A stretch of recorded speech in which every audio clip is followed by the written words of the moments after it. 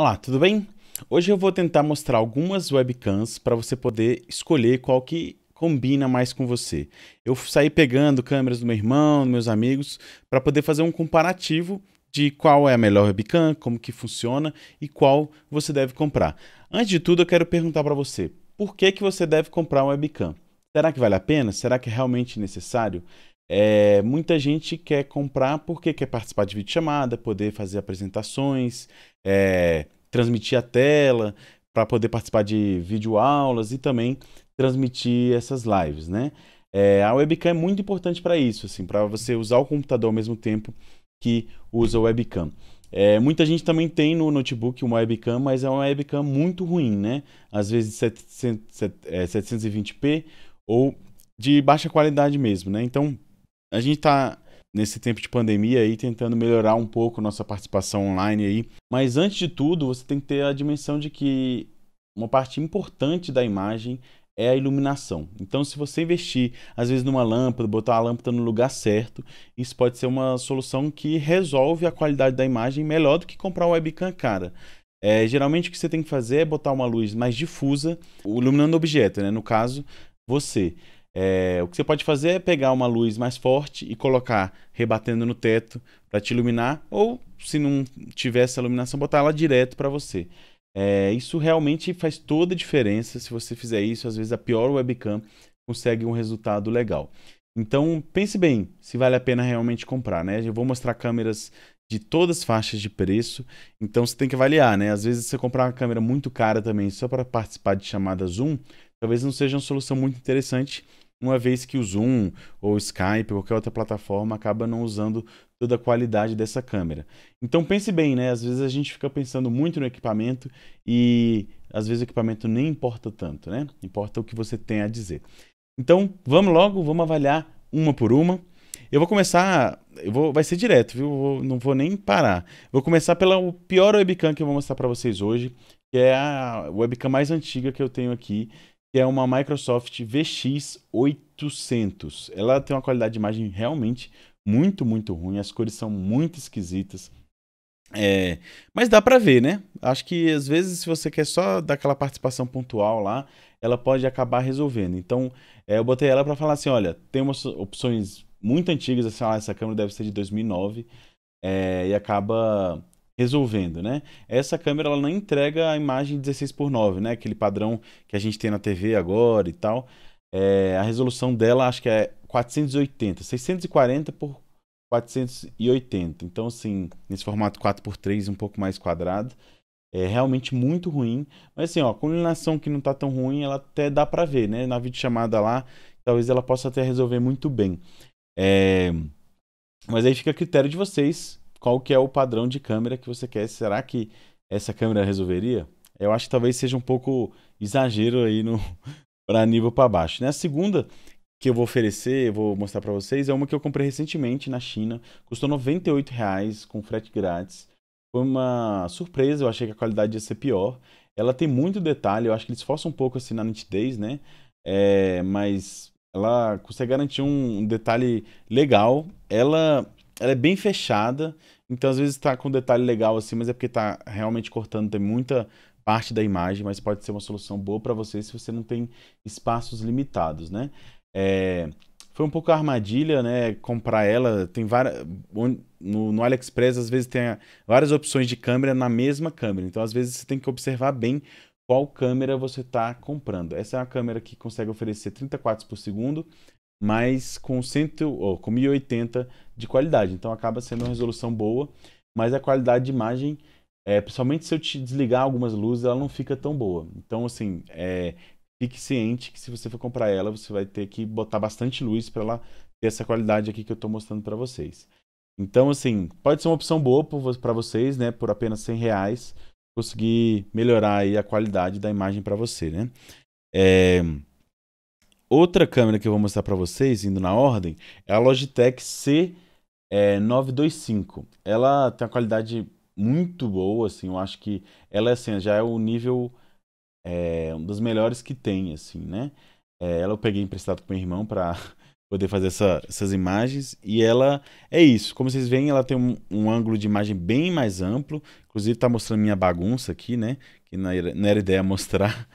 Mas é isso, assim. Ela. Isso pode ser muito bom se você está numa sala um pouco maior.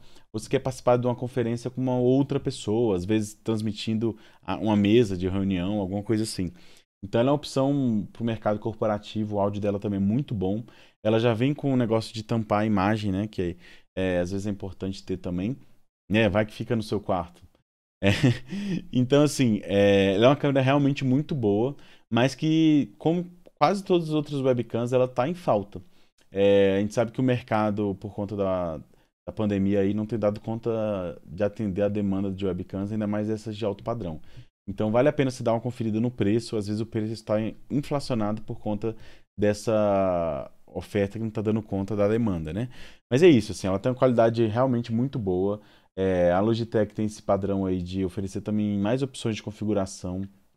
Então com ela você vai conseguir usar alguns programas que a Logitech oferece, tanto de capturar direto nesse programa dela, configurações personalizadas, é, controlar o ângulo da imagem e tal. Isso é uma coisa que pode fazer diferença dependendo da sua demanda, né? É, todas as webcams que eu mostrei, elas são plug and play, ou seja, você consegue conectar e já sair usando, assim. Então, é, pode ser uma vantagem também para você que quer praticidade e também é, poder usar no seu laptop, depois no seu computador de mesa e tal. Então, isso pode ser uma opção. É, agora eu vou para a última câmera, que é a melhor câmera que tem no mercado hoje, que é a Logitech Brio. Ela é uma câmera que oferece 4K. Assim, 4K para uma webcam é uma coisa meio estúpida. Estava olhando para o lugar errado. É, é, mas ela oferece isso, assim. Ela oferece realmente muita, muita qualidade. A melhor qualidade que pode ter no webcam, numa, num pacote bem pequeno, né?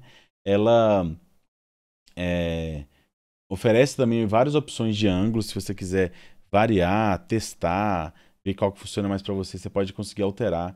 No programa que você baixa, né, tipo o driver dela, você consegue alterar funções, você consegue usar o HDR, consegue configurar brilho, tudo muito automático, balanço de branco. Então, algumas funções que você só encontra em, web, em câmeras profissionais, você pode ter nessa webcam também.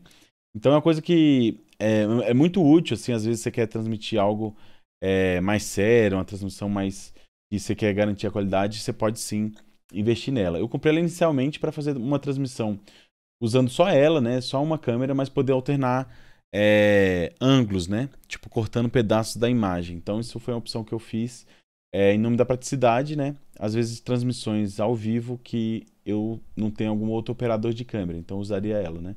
Então, ela é uma opção, assim, realmente, se você quiser ter a melhor qualidade possível direto da webcam.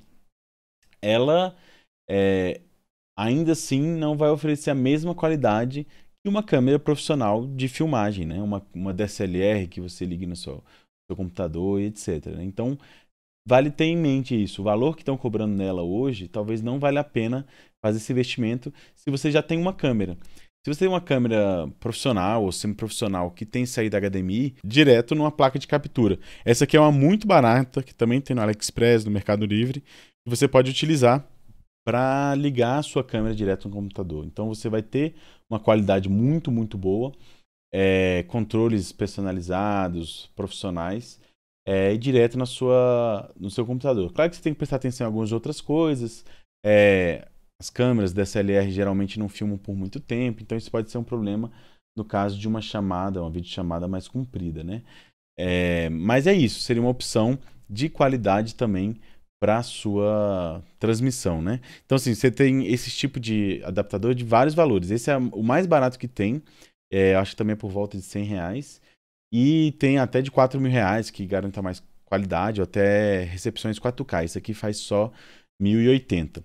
Então, assim, é isso. Assim, eu mostrei para vocês todo o espectro de é, câmeras, né? Eu vou tentar mostrar né, a diferença nas cores. E você vê que as duas Logitechs acabam ficando muito parecidas, né? Essas duas da direita. E as outras com algumas diferenças, né? Essa HD Full, que é essa que eu comprei no AliExpress, acaba que força mesmo a nitidez, as cores um pouco esquisitas, mas é isso, assim, a imagem tá geralmente com um pouco mais de qualidade e a Microsoft VX 800 que acaba sendo mais antiga e não dá nem para comparar direito. Mas é isso, né? Elas acabam servindo para que elas se propõem e aí você escolhe qual você gosta mais. Eu tentei fazer aqui nessa imagem a mesma ampliação é, das câmeras, da, do, do sinal, né? Uma, cada uma tem um ângulo de visão diferente, então assim, eu estou em tamanhos diferentes, mas eu tentei ampliar do mesmo tanto. É, claramente não é uma, boa, uma comparação plenamente justa, né? Se você for, for ver, mas tentei colocar aqui para vocês terem pelo menos alguma referência, né? A VX 800 da Microsoft, gente, tem que avisar assim, tem outras câmeras da Microsoft que são de muita qualidade, é, que não estão aqui nesse, nessa avaliação, né? Então, se você está procurando a Microsoft, essa aqui não, talvez não represente o que a Microsoft está oferecendo hoje. Mas, enfim, é, você vê que assim, tem bastante diferença nas imagens e tal, mas é, se eu for, por exemplo, pegar a imagem da Abril, só para vocês terem como referência, né? E colocar com, com total, né? Zoom, né? Se for ver lá o detalhe, realmente ela vai conseguir garantir uma qualidade muito superior, né? É, eu vou tô tentando dar um, um zoom, né? Como se fala. É, e você vê que ela continua mantendo a qualidade realmente é, superior, né? E às vezes não só a resolução em si, né, que conta, né? É, as cores, o ruído, é, faz toda a diferença. Se eu for fazer o mesmo teste, por exemplo, na câmera da China, ela Pera aí, deixa eu botar aqui para vocês verem.